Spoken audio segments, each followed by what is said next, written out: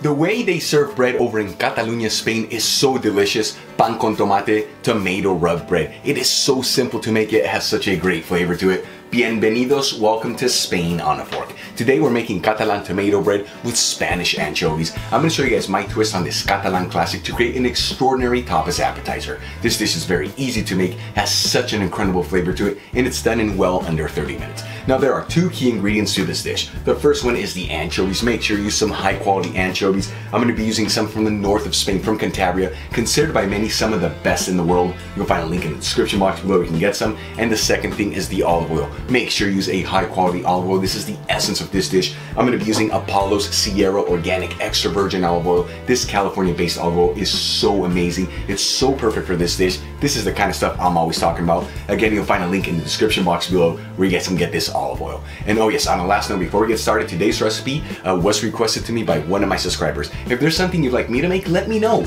Let me know in the comments box below. All right, folks, let's get started.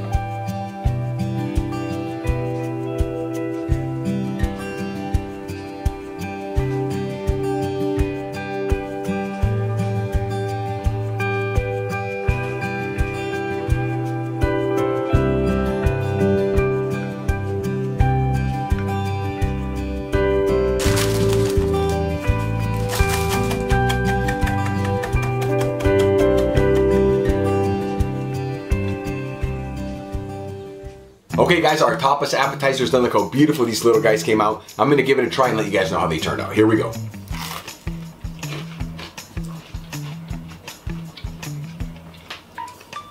Beautiful combination of flavors. So simple but so good. Got tomato puree with the olive oil and the raw garlic. And then let me tell you, those Spanish anchovies, what a beautiful flavor and texture them. The whole thing works so well together, amazing combination. You guys saw it very easy to make, the perfect tapas appetizer for any occasion. If you enjoyed today's video, hit that like button, leave me a comment below, and if you're not subscribed, remember to subscribe. Until the next time, hasta luego.